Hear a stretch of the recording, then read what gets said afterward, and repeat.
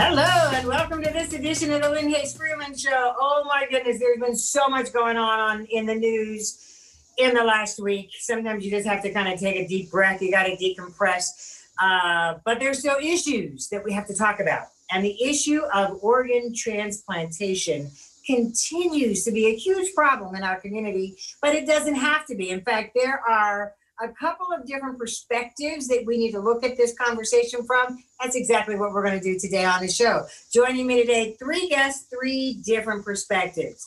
Bill Strickland. Everybody in town knows Bill Strickland. But what you may not know about Bill Strickland is that uh, four years ago, near approaching five years ago, Bill Strickland had a double lung transplant. We're going to get his story. Dr. Velma Scantlebury White is a kidney transplant surgeon. I remember when she was Okay. here at UPMC doing just that. We're going to get her story. And Marisol, uh, let me see. I got Marisol. I want to make sure I pronounce your name right. And I have a feeling I'm not, but it is Marisol Ferrandez Williams Yes.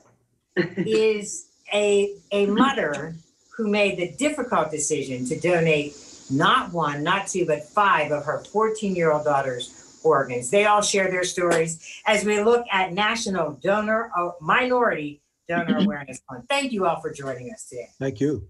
Thank You. Marisol, I want to start with you because, in a lot of ways, I feel like your story, you had the hardest decision to make in many ways. When you were approached about donating your daughter's organs, you mentioned, I mentioned she was 14 and a half. Tell us, tell us a little bit about your daughter. Tell us her name, how it was that you ended up in that situation that day. My daughter's name is Janelle Jasmine. Um, she was 14 and a half, and um, I took her to the beach, and um, she was with her friends. And uh, suddenly, uh, she called me that they had to leave, and um, uh, her best friend's um, brother, he had to go and, and he had to take them.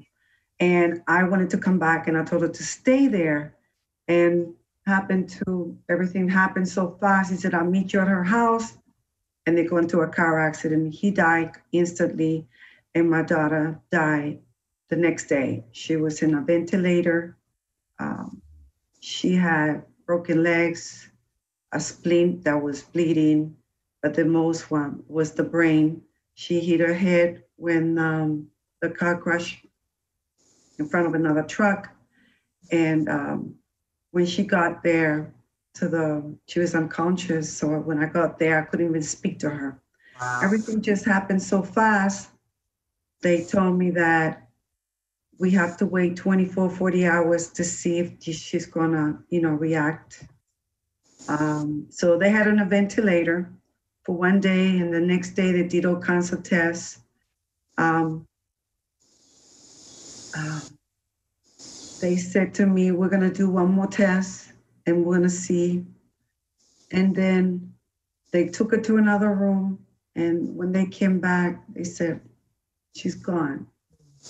And I had a minute there to just react to what just happened. I was just talking to her the day before and all this happened so fast. So it was hard. Sure. It's still hard. It's been 13 years. Um, I'm doing better than what I was doing, but uh, when she was there in the bed with the ventilator and her, she was still breathing. Um, they kept her in that because just in case I was going to donate her organs, and I didn't know that they were doing that. I, it was a surprise to me. I was never aware that they were ever going to ask me such a question like that. Mhm. And at that time, when when they told me that she's gone, and so I didn't have enough time to digest all that information, but they were outside waiting for me to see if I will react and it will, you know, they will ask me that question on the right time. Mhm. And s- they came in, um, my ex sister in law, Barbara, she was with me at that time. And I was holding the hand when this guy came and we were praying. And then he came and he said, I know this is a difficult time. Um, we'd like to ask you, there are some people that waiting for organs and I know this is a hard question, but we would like to know uh, if you will donate some of her organs. Let me stop you right there. Let me just stop you right there, only because Dr. Stansel White, I want to get you to weigh in because people hear this. People have seen movies and they process all of this, and sometimes it it feels like it happens fast. It's not. Uh, people feel like, oh, it's so intrusive, but time is of the essence in these situations which is why it's important that we have these conversations now. We think about these things now, is it not? Absolutely, because as you said, while you're on her loved one, her daughter was on life support in terms of being connected to a ventilator, mechanical support that allows for the heart and the lungs to continue to work. There's no there's no blood flow to the brain. And so there's brain death. And so once brain death occurs, it's only a matter of time before the signals to the rest of the body stop being sent to in order to to continue breathing or have the heart breathing on the machine or have the heart help you so you're not necessarily breathing on your own you're breathing because you're having mechanical support that delivering oxygen and air to your lungs and bringing it out. So you're dependent on the ventilator. Uh, and the heart is still beating because the heart responds to oxygen and blood flow to it. But there's no, this in theory, brain death has occurred in that there's no more signals to the brain.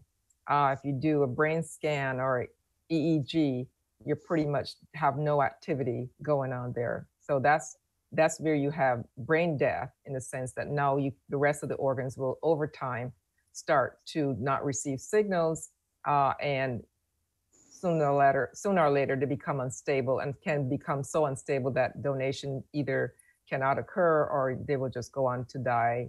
Um, they will just go on to deteriorate because they're already brain dead. They just go on to have those organs cease functioning And Bill, I, I want to get you in before we take this commercial break. While they're saying to Marisol, there are people who may need these organs on the other side of that spectrum. That's where you were, not necessarily in her direct case, but that's where you were. You were one of those people who was in need of a double lung transplant. So you would have been one of those people Yes, waiting for word, waiting for the call from a doctor that lungs had been located. I got lucky. Uh, God looked out for me. And uh, on the other side of the community or the city or the state, there was a family that made that decision on my behalf. Mhm. And so I was in the right place at the right time with the right problem. And so through Providence, uh, I was fortunate enough to receive the gift of life. Three, three different perspectives. We'll take a commercial break when we come back. We're going to continue the story. It doesn't seem like these all fit together, but it's amazing how they do. And that's exactly what we're talking about. And we're going to give you a phone number where you can get more information as well. So stick around when the show continues.